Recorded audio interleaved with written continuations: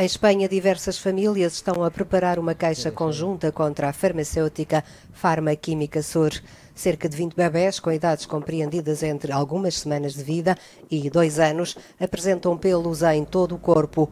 São crianças cujas mães tomaram minoxidil, um medicamento contra a queda do cabelo, em vez do protetor gástrico homeoprazole. A troca resulta de um engano na embalagem dos medicamentos que fez com que o minoxidil fosse vendido como sendo homeoprazole.